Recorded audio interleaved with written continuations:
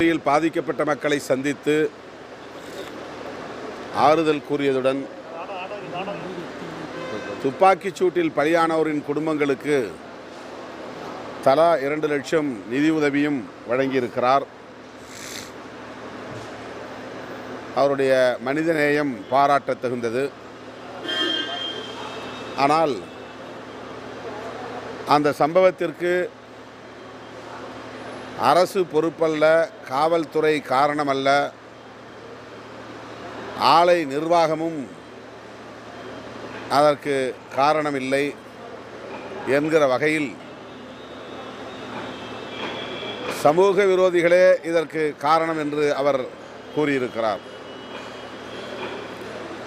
சில நாட்களுக்கு முன்பு முதலமைச்சர் அவர்கள் சட்டப்பேரவையிலே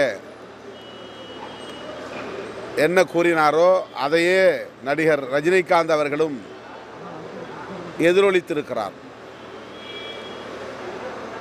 இந்த சம்பவம் நடந்தபோதே பாரதிய ஜனதா கட்சியை சார்ந்தவர்களும்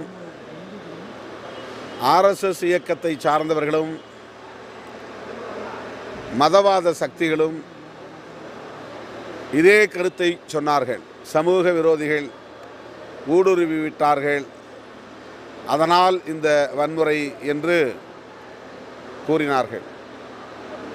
ஆக பாரதிய ஜனதாவின் குரலாக அல்லது ஆர்எஸ்எஸ் இயக்கத்தின் குரலாக மதவாத சக்திகளின் குரலாக நடிகர் ரஜினிகாந்த் அவர்களின் குரல் அமைந்திருக்கிறது. தமிழ்நாடு சுடுகாடாகிவிடும் என்கிறார்.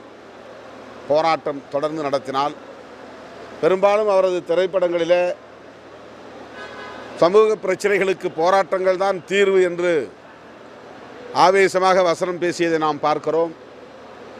இப்போது வெளிவர இருக்கிற காலா படத்தில் கூட போராட்டத்தை ஆதரித்து அவர் வசனம் பேசியிருக்கிறார் என்று சொல்லப்படுகிறது. ஆனால் நிஜ வாழ்க்கையிலே போராட்டம் கூடாது என்கிறார். போராட்டங்களே கூடாது தொழிற்சங்கங்களே கூடாது என்பதுதான் கார்ப்பரேட் நிறுவனங்களின் விருப்பம். ஆகவே ரஜினியின் குரல் கார்ப்பரேட் நிறுவனங்களின் குரலாக இருக்கிறது. இது ஒரு போராட்ட வடிவம்தான். ஆளும் கட்சியான அதிமுகவை அம்பலப்படுத்துகிற வகையில் திராவிட முன்னேற்றக் கழகம் ஒரு மாதிரி சட்டமன்றத்தை நடத்தினார்கள்.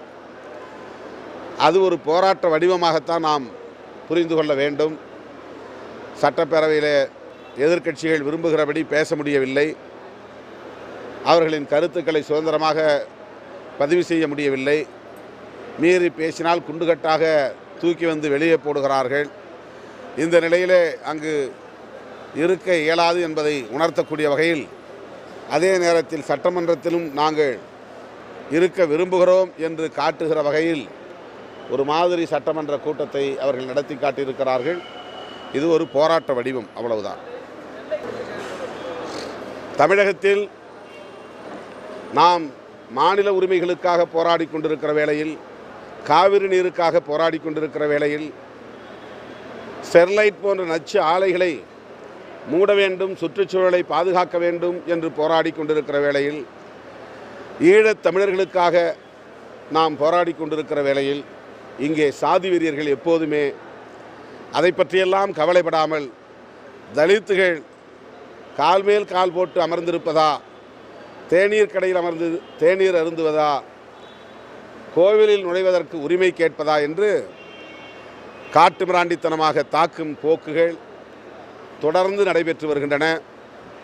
சாதி வெறியர்களுக்கு இந்த நாடு எக்கேடு கெட்டாலும் கவலை இல்லை என்பதுதான் அவர்களின் போக்குகளில் இருந்து தெரிய வருகிறது. இன்னும் உயிருக்கு ஆபத்தான நிலையிலே மருத்துவமனையில் அனுமதிக்கப்பட்டிருக்கிறார்கள்.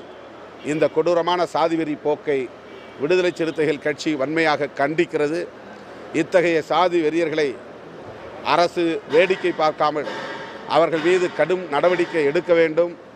வன்கொடுமை தடுப்புச் சட்டத்தை தீவிரமாக நடைமுறைப்படுத்த வேண்டும் என்று விடுதலை சிறுத்தைகள் வலியுறுத்துகிறது. இல்லை தேசிய பாதுகாப்பு சட்டத்தின் கீழ் அவர் கைது செய்யப்பட்டிருக்கிறார். அவர் மீது அந்த வழக்கு பதிவு செய்யப்பட்டிருக்கிறது என்ற கருத்து த பரவியது. ஆனால் அது உண்மை இல்லை என்ற ஒரு தகவலும் இப்போது வந்திருக்கிறது.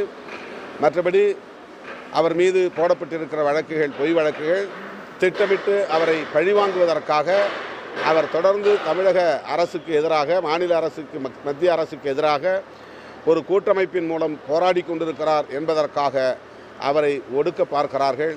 அவரை அச்சுறுத்துவதன் மூலம் அவரோடு இணைந்து பணியாற்றுகிறவர்களையும் சிதறடித்து விடலாம் என்கிற நோக்கத்தில் அரசு செயல்படுவதாக தெரிகிறது. அவர் மீது வேல்முருகன் அவர்கள் மீது போடப்பட்ட வழக்குகளை திரும்பப் பெற வேண்டும். அவரை உடனடியாக விடுதலை செய்ய வேண்டும் என்று வலியுறுத்துகிறேன். To get instant news updates, like the Kobe Post page. Click on See First to view the news first. Also on YouTube, subscribe to Kobe Post channel to watch interesting news and videos.